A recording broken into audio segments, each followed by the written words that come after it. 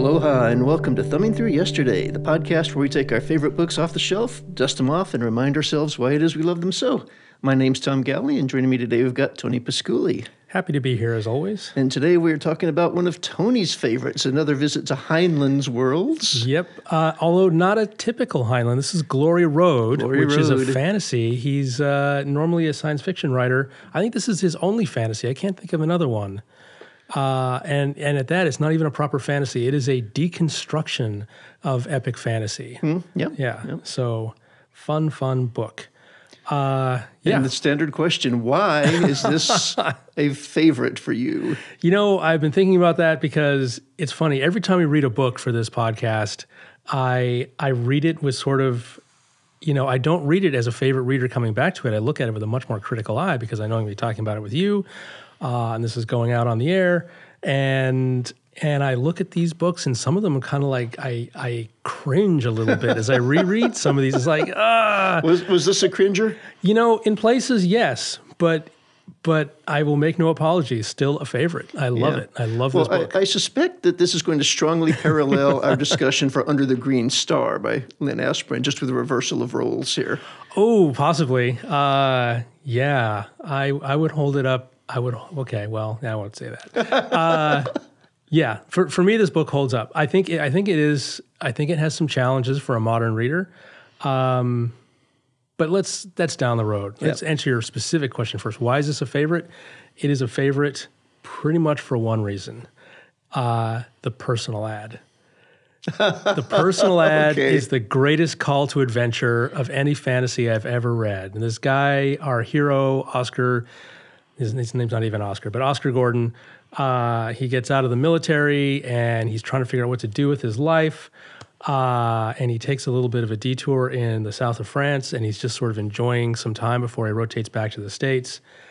And he meets a beautiful woman but he neglects to get her name and he's he's desperate to find her again and then he sees this personal ad in the newspaper which looks like it's written for him and i won't read the whole thing because it's kind of long but it starts are you a coward and then it details what they're looking for uh, and then says um, da da da da permanent employment very high pay glorious adventure great danger you must apply in person This is almost like the pitch that Gaia gave to Cirocco, right? When she offered her the job as wizard. Yes. Yeah. Yeah. absolutely.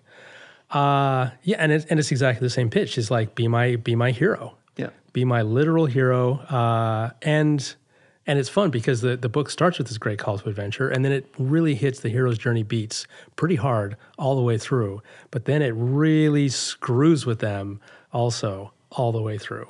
So yeah. So that's why it's a favorite. I got pretty far into this book and had almost convinced myself that I was wrong. I had never read it before because it, it just nothing seemed familiar. Um, I really loved the protagonist. I loved the way he was milking the the military retirement system and dodging it to, you know, to get himself to where he could actually take advantage of the the the few loopholes that had afforded him some luxury. Um, right up until the moment that they reached the Doral's house. The Doral is one of those passages, not even a passage, it's a whole detour in the book. It's But about it- 20% of the book, I think. you know, I, I got into that and it's like, he's going to refuse to sleep with somebody and they're going to end up leaving with a cold breakfast and it's going to set off this whole misunderstanding thing. It's like, yes, I have read this before. And then it's like, yep, sure enough, the, the, the women come in, he doesn't sleep with them. And then, yep, there's a cold shoulder of mutton sitting in a congealed pool of grease. I'm like, yep, I have read this before. But that was, that's, there were like two things about the entire book that I remembered, and that was one of them. Well, here's here's the thing with Heinlein, and you have to know what you're getting in for when you read Heinlein, is that this is, if there's one overarching theme to his work, it is that there are no moral absolutes. There are paro- parochial traditions.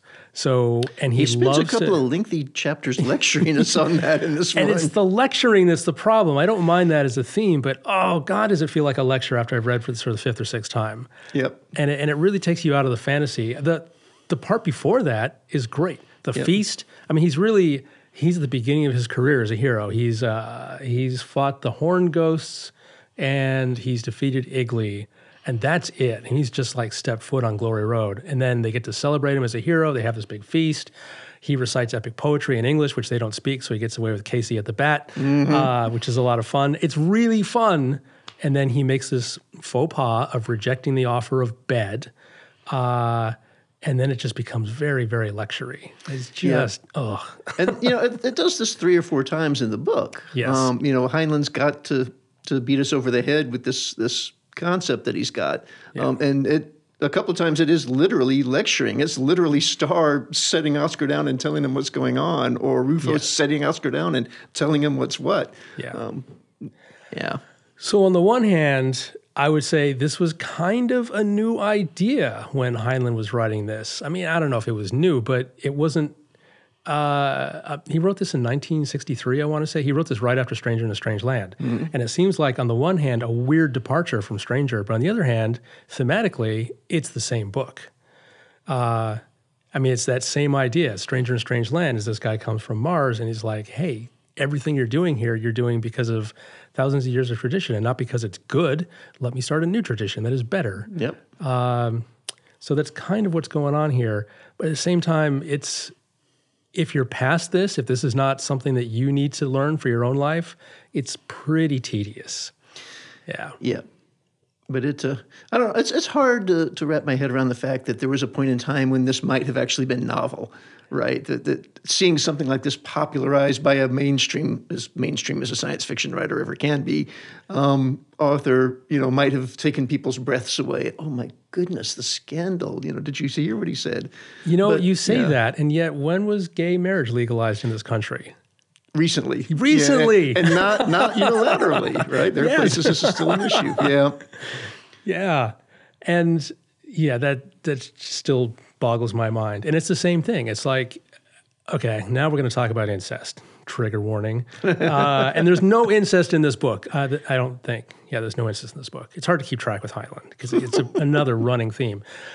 But it, it's a very similar idea, and people just freak out at Heinlein, going, "Oh my God, what is this thing with incest he has?" And what it is, I think, uh, it's the it's the last taboo.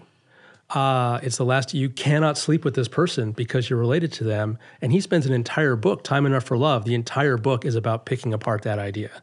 Uh, when is incest okay, and when is it not okay? And there's a couple of reasons for the taboo, and the main taboo is genetic. Uh, and then the other taboo, which he doesn't really address, is you know if you grow up with people who are uh, younger than you or in your house, same household, then there's a weird power balance, power dynamic that's, that's kind of creepy and gross. Uh, so he doesn't talk about that part, but he does pick apart the genetic thing.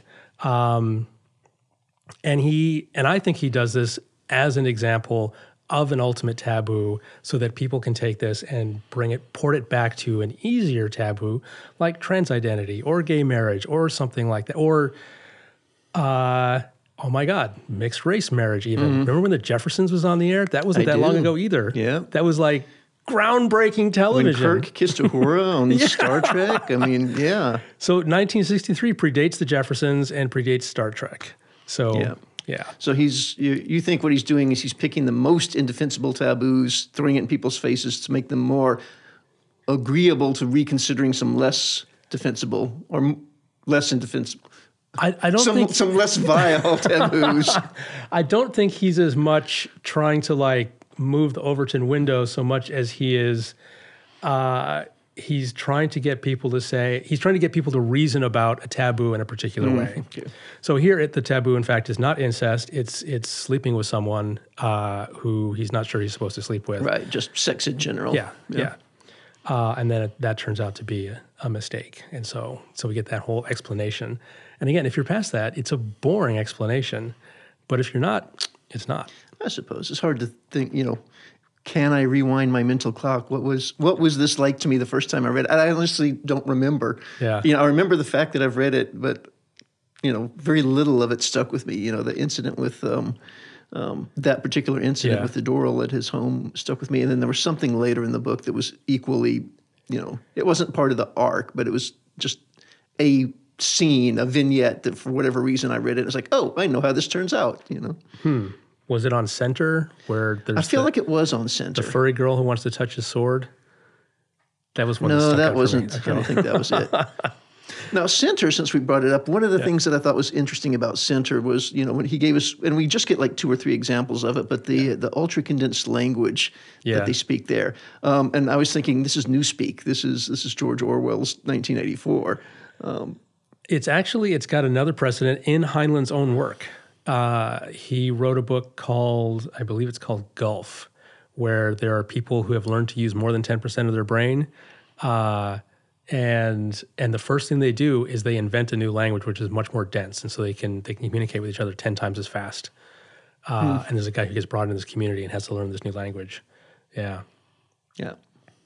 yeah newspeak had a different agenda Well, uh, yeah, well, okay. In a way, it's the opposite of Newspeak, right? Because Yeah. the, the function of Newspeak was to limit the idea to express abstract ideas. You could only express ideas that were in line with party Exactly. doctrine. Yeah. Um, but the, the idea that it was condensed and it was a shrinking language, um, uh, I could see a little parallel there. Although we don't know that yeah you know, the other one was a shrinking language, but it was certainly ultra condensed. Um, and it would be full of inference. I'm not sure that it would be a better idea, but it gave him something fun to play with. I th- yeah, I don't know that the particular condensation of the speech and center is very good because it. I don't know that reducing your vocabulary uh, makes it easier to communicate. It makes it easier to learn a language for sure. Uh, but then if you need to talk about something that's not covered by one of your hundred nouns, you have to start Yeah. jamming nouns together like they do in Germany, and then you end up with these Sprechen Haltestelle, the speaking talking place. Yeah. So yeah. Uh, I think I will start walking up to people and saying self. Just Self. see how many people react to it. Uh, yeah, that's great. Um, so speaking of center, also another thing that makes this book kind of unique uh, in the fantasy world is that uh, so you have the so it actually begins way before the call to adventure. We have the whole bit about uh, him being in the military. Actually, him we start with him in high school. Yep. It's really not necessary, um, but it's important for him thematically for reasons that turn out to be a misfire. But we start with our hero in high school, and he joins the military, and he's got a poor upbringing. He doesn't know how he's going to pay for college. He doesn't know how he's going to get a good job. Da da da da da da da. All through his military career and some side adventures there, and then we get to this. We're at page forty-two of three hundred and twenty pages. That's pretty deep in the book. Yeah. Yeah. And then we go through our hero's adventure or our, our hero's journey, and then we keep going. We keep going for quite a while after that. Yeah. I would say a third of the book is after the happy ending. Yeah. Yep. Uh, I, I remember, you know, as, as, as there. Oh, that's that's what I remembered was the uh, was going through the hallway to get the egg. Right, he's doing these shenanigans. He's going around a corner that isn't there and Yeah. crawling through a tunnel that isn't there. I remembered that little bit. That's the only other thing that had stuck with me. But you're right. I mean, we're we're there, right? He he. They've reclaimed the egg, and you know, I'm looking at the bottom of the the Kindle, and it's like 78 percent done. I'm like, what's left? what's left with this thing? So much is left. Yep. So much thematic nonsense is left. The story's over, but now we just got to go, oh, Yeah, now's then we get the next two big chapters on lecturing about uh, Yes. lack of absolutes. then it gets very, very preachy. Yeah. Yeah. Um, He's awfully slow on the uptake about what's an obvious solution to his, you know, I want to throw air quotes around the word problem. Yeah. Right. Oh my God, I've got all the money, more money than I can conceive of. Uh, they've been sneakily uh, dosing me with good health, so I'm going to live a long time. I'm insanely wealthy. I can be as educated as I want to. Oh, woe is me. It's like, how, how obvious is, well, I don't know. Leave, go, go on an adventure. Yeah, go do it for a while. You know, but I mean, all right, so he's 25, 26 at this point. Yeah. You know, and literally the only relationship he's had, or maybe she's his, maybe Star is a second. I don't, I think he kind of alludes to I think he got Dear John when he was in the yeah, military. he got Dear John in the military, right? Yeah. But he, which he got over in a surprisingly adult fashion for again a twenty something who was jilted by a Dear John letter, but Yeah. uh, well, he's a he's an ultimate pragmatist. This hero. Yeah. very Heinlein in Yeah. that. Yeah.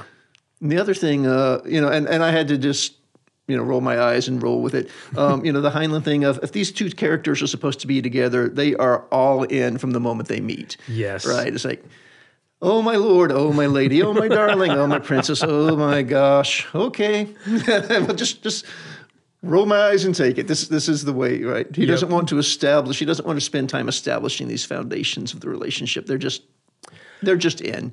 All right, so I, that is very much a Heinlein trope, but I want to say that it's a little bit more defensible in this book, uh, and they talk about that later on. Um, she is the perfect woman for him, and he is the perfect man for her, because she has been looking for him for dozens of years. She's combed through billions of candidates to pick her perfect guy. Yep. So it's shouldn't it's not that much of a stretch that if you spend that much time on that many candidates, you find someone who's a really good fit. Yeah. Uh, and then she, in a likewise, is tailored to him. She in her presentation, and everything, because she's putting on a persona. Yep. She's a role. She has hide. She has hidden who her true self is from him by the time they get married. Uh, he doesn't find out until after the quest is over exactly what he's gotten himself into. Yeah, and she okay, she did some pretty underhanded manipulation there. I mean, it it being a, a happy novel, it turns out Yeah. well, but I mean, you know, Rufo was a little bit unhappy with how she handled things, and I think justifiably so. And I think Oscar did not react nearly as negatively as could have. Um, but you know, Yeah, but you get you say he's the ultimate pragmatist. Maybe that's entering into it. He's like, well, okay, this is the fact. The person I married is the empress of twenty universes, um, and she's been secretly dosing me with long life. yeah. What am I? Okay, at this moment, I can I can decide what to do. It's know? hard to complain about that without feeling petty. Yeah. know? It's like, oh, whoops, yeah. Oops, my my hot girlfriend is the most powerful being in the universe, and I'm going to be immortal. That's unfair. Yep, that really is unfair.